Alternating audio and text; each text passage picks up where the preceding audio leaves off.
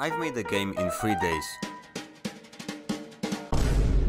The theme was Delay the Inevitable, and my first idea was to make a platforming game where you play as a robot which overheats frequently and when it happens you get teleported to another place. It's a really good idea because then the game wouldn't be a puzzle game, again, making levels would be a breeze, and I wouldn't have to worry about graphics because I would just make something abstract and say, hey, this is RoboView. This is how robots view things. So I've started working on a movement system. Most of the time I make a very simple script, which actually I think SCP Secret Laboratory uses, so yeah, there's that. But since this game focuses on platforming, I've decided to put more time into it. So I've implemented all of the buzzwords. Gravity, momentum, head bobbing, jump queue, coyote time. And then I showed it off to my friend and he suggested, hey, add dashing. And I said, okay. At first you could only dash forward, but I've noticed that if you weren't pressing anything that she would just levitate. So the immediate idea was to make you just dash up, but since that felt a little bit clunky, it eventually evolved into just a simple double jump. But technically the game still counts it as a dash, so I've also realized that the whole process of not pressing a single movement key and then dashing wasn't really intuitive, so I just moved it into its own separate button. Also, did I mention, I finally made my own input system, and turns out it's actually pretty nifty. I didn't use any of the fancy features this jump because like, I don't like them, but I always have the option. The second thing that I've implemented was the hit system, which is literally just a timer. But when that timer reaches 0, or in this case I guess 100, you get teleported to one of the previous checkpoints. At first it just reverted the entire game, but quickly I've realized that that wasn't really fun, so I just made it for Gore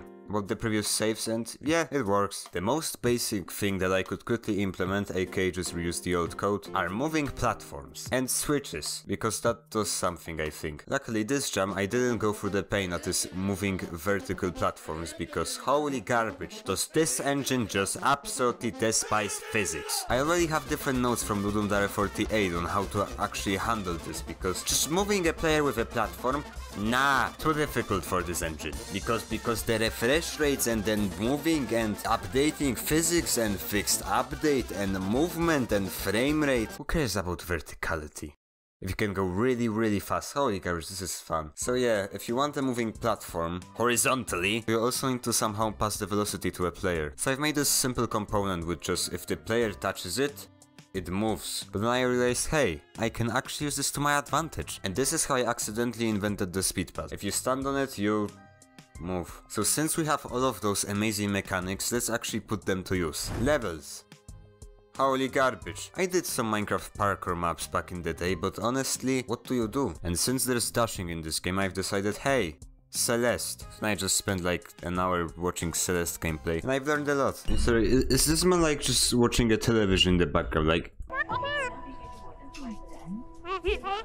He's, he's actually watching the Weather Channel, holy garbage. One of the things I've learned, at least from the starting areas, was that actually there isn't really that much depth into it. I mean, yeah, yeah, there are some actual like clever tricks, but most of the time it's just random platforms in random places. And the other fun thing that I've learned was to not make the first level yet. Because when you make the first level, most of the time it's really boring, it teaches players stuff, and most of the time you have a tutorial for something you don't know how to use. Why do you keep doing this? It's like you are a teacher, but you never had any practice in what you are actually doing. So I've made this little level just playing around with different dashing mechanics, which later I had to scrap because I've changed some numbers in the movement system because the double jump was a little bit overpowered, and I changed the air movement a little bit. Saving! Is a thing I actually never did properly. I know, I know, there is that one game, but we don't talk about it. I know how to save files, but I don't know how to save the game really. So what I did was I've made this little funny system which basically consists of different nodes that actually handle the saving. So basically when I say hey, save, then the manager says to all of the nodes hey, save, and then they say okay, and then I just say hey, screw it, revert all of that, and they say okay. What is the first thing that you see in a game? That's right, the made with Unity splash screen. But what do you see after it? That's right, the loading screen. But what do you actually see after it? That's right, the splash image. But what do you see after it? Another loading. Are you serious? The main menu. Since you play as a robot, I've said okay. But is it just me, or is the main menu looking kinda thick? Shut up, Daniel. Shut Shush! And since I was using QASIC, all of the scripts were technically already done for me. I've only made this little button script which would just do this. It's it's it, it's re it's really cool, alright? It's a really cool anime. That's not an animation. It's a really cool transition, alright? And since it was getting late, I've decided to work on some glitch effects because, you know, computer. So I've spent 4 hours searching on the internet for some quality glitch effects. And we have some things like Kino glitch, this with Japanese or Chinese or who cares, I don't know how to read your language. And many other things on GitHub and Unity Asset Store, but which of them are compatible with URP? Oh, so turns out URP is a hot mess. I mean, alright, I understand that not everything can be actually compatible, but when I actually found some cool assets that were supposed to work with URP, they didn't! And I have actually no idea why. One of them refused to render the camera, and the other one what is this Mr. URP support? What do you actually expect me to do? To open the stupid shader graph? No, goodbye, shut up.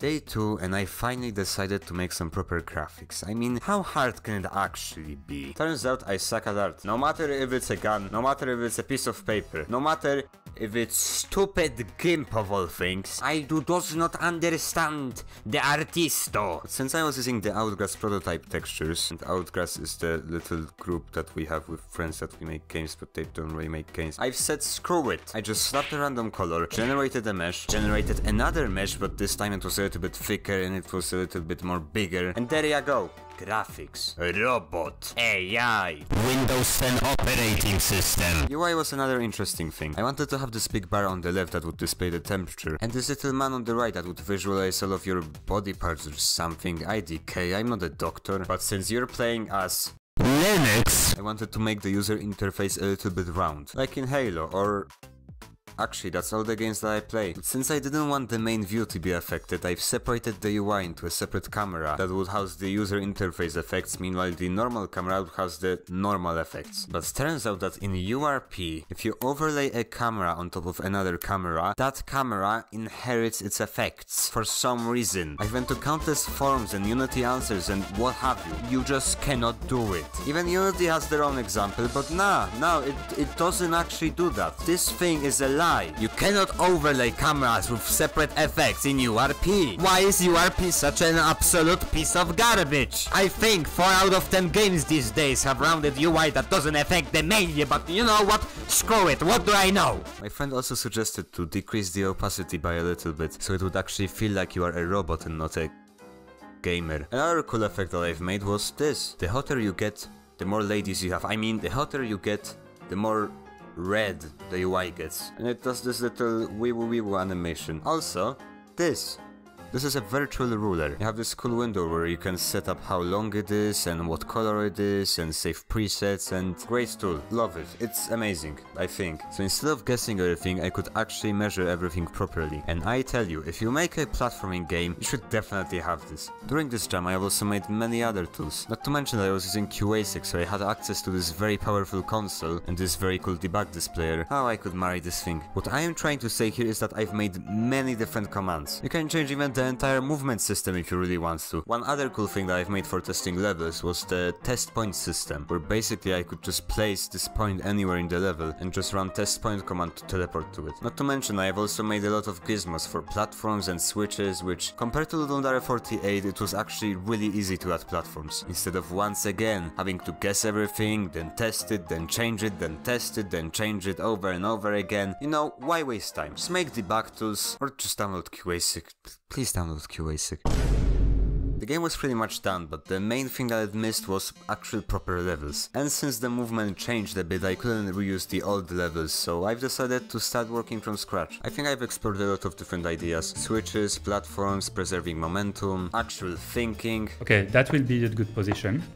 For oh, this part, that's far. In the end I've managed to make two levels. I was focusing more on making longer levels than many levels because, well, you have to overheat at some point. If the level is 3 seconds long then that's not really going to happen. So I've quickly built the game and sent it to my friend for playtesting. This game jam I've actually made an insane amount of playtesting compared to like, game doesn't work? Don't care. It's 2am, I want to sleep. Most of my friends said that they really enjoyed the game being difficult. And you know, it isn't really a good idea to make a difficult game for a game game jam. Because most people if they die once they say okay yep I've seen enough alright uh, one star. And I've already received a couple of complaints for the game being too difficult so in the post jam version I've actually added difficulty settings. Another thing that I've realized when watching them play was that people didn't really know why you were just teleported randomly into a certain place. I mean I've told them about the overheat mechanic but it was not really apparent that you overheated. It was more like okay I guess I'm here now. So I just slapped on this big screw of text that says Hey, you are about to die! Yeah, I think I've made myself clear. What do you see at the end of each game?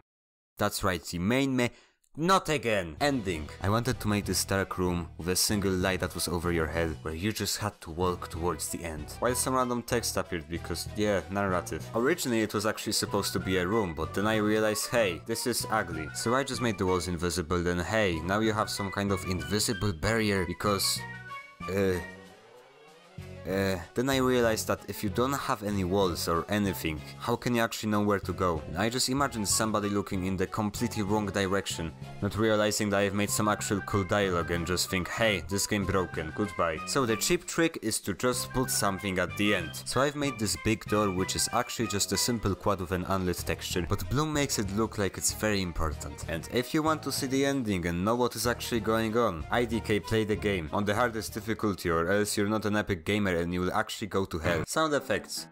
I suck at them, and you can tell because one of the most neglected things in QASIC is the audio manager. I know that I said it was the input system, but now it isn't, so hey, this is our new enemy. Also, turns out Brackeys lied to you, and this is what I learned this jam. I've been doing this for 5 years and I've always thought that this is how you do it. Turns out, no. How can you do this to us, Broccoli Man? We've trusted you for so long and you just betray us? So I tried making sound effects, but my microphone was way too low and they were trash. So I said, screw it, I am going to use SFXR.